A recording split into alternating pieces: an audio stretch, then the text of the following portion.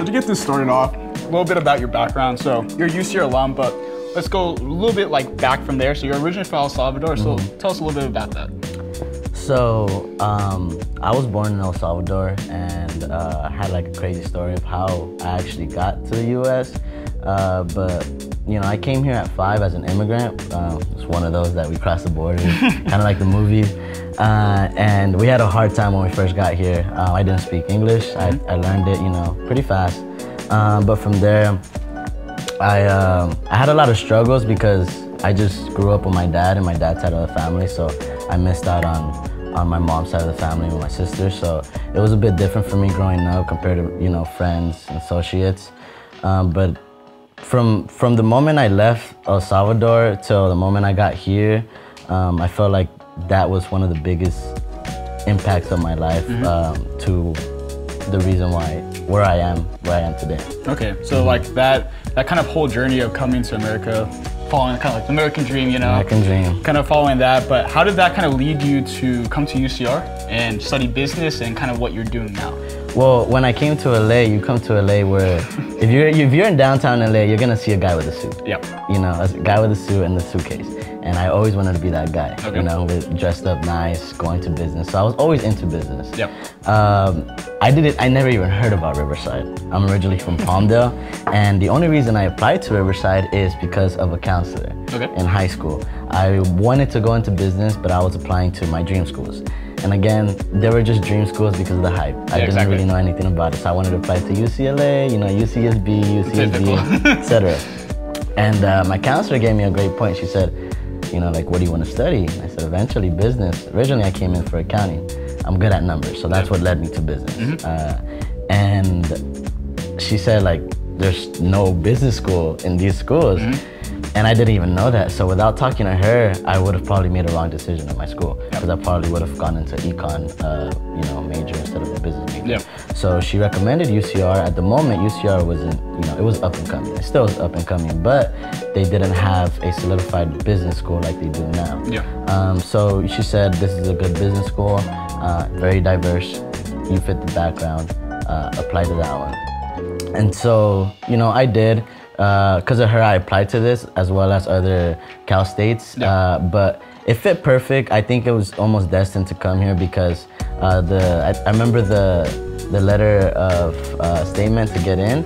It was to explain your background. Yep. You know, so uh, my background is very unique, and again, like you said, I lived the American dream. Mm-hmm. Uh, I wanted to live the American dream, so uh, I applied and I got in, and I loved it because I met all types of, Yeah. you know, uh, ethnicities, all type of races, all type of people. Um, Different backgrounds, everything. Correct, correct. So I loved it. I absolutely loved it because I was not exposed to it um, from where I came from. Um, plus, you know, it took me a while to get residency plus citizenship, Yep. so I couldn't really travel to other places and meet, you know, new cultures and meet new people. Yep. Uh, so this is a good, uh, you know, a good first step to doing that. 100%. And like during your time at UCR, so uh, what was your concentration in the school business? Was it I- management or was it? It, it's I finished off with marketing. Okay. So, like I said, I originally came in as an accounting. Took some accounting classes, took business 10. You're like, hell no. No, it's not, it's not for me. Uh, I didn't like the whole 12 to 15 hour shifts and, you know, cubicle. Uh, I can do the long shifts, I just cannot do it in a cubicle. Yep.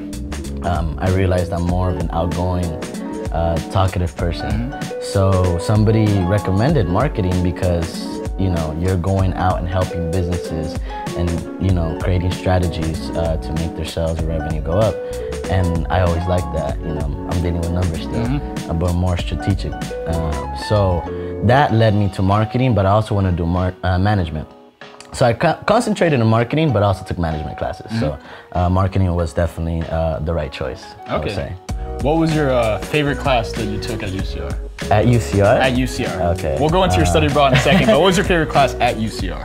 Um, depends because I've had really good teachers uh, that actually took their time and wanted to get to know me.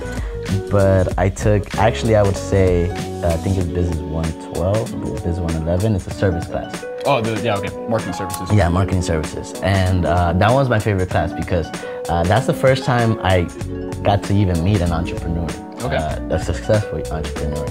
And the first thing he told us in class was, "Don't mind me yawning, don't mind me sleeping. I go every other week to Europe for my business." And Wow. I, I was Europe is my dream place, so. Yeah. I after class I asked him how how he did it, and uh, he took the time and, and you know spoke to me. But he was a very busy man. I had two minutes with him, so I would make the most out of those two minutes. But the reason why that was my favorite class is because uh, it helped me w- with my business that I have now. It's Yeah. a service class, so it didn't only teach you um, how to treat a customer or um, you know how to make a sale, but it also taught you what it is that a service you know provides. It's it's an experience. So that's where I got the whole idea of making a service an experience. Um, so I really liked that class because he taught us real life situations and he used his businesses as examples. Okay. So I really learned a lot from that class. It wasn't. It was one of the first classes that he said to not buy a book. You know, we're just gonna learn through PowerPoint, through talking and presentations, and I absolutely love that.